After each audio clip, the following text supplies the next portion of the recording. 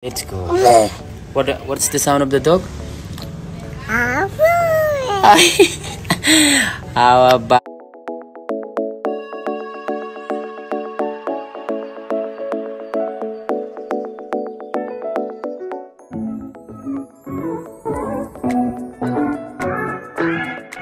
Sinabi ni Andy na biglang nagalit sa kanya ang kanyang anak na si Ellie dahil sa kanyang ginawa ngayong umaga. Hindi mapigilan ni Andy ang umiiral na pagiging isang ina sa kanya. Panoorin at kung hindi pa nakasubscribe, don't forget to click subscribe and hit the notification bell to keep you updated.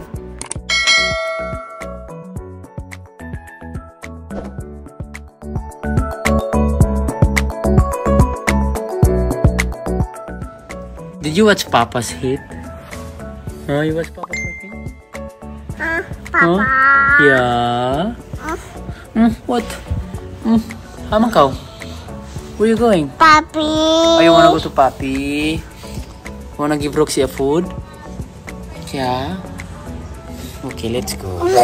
What? What's the sound of the dog? How about Roxy? Uh,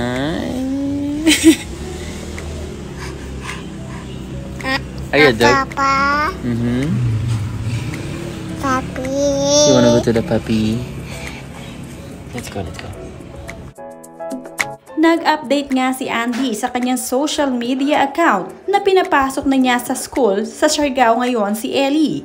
Isa itong bagong experience para sa kanilang mag-ina.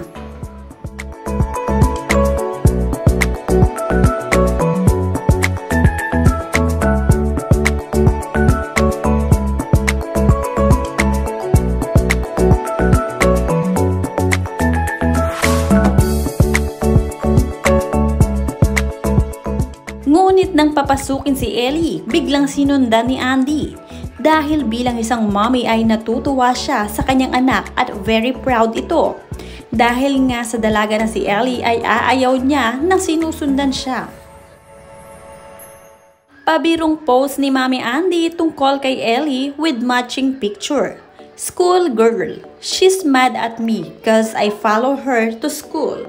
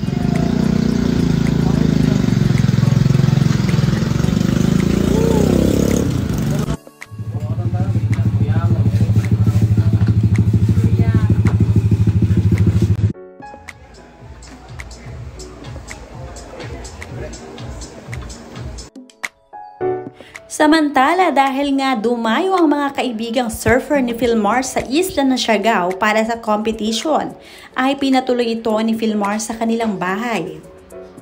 Sila ay mga Japanese na nakasama ni Philmar sa laban nitong nakaraan sa Japan.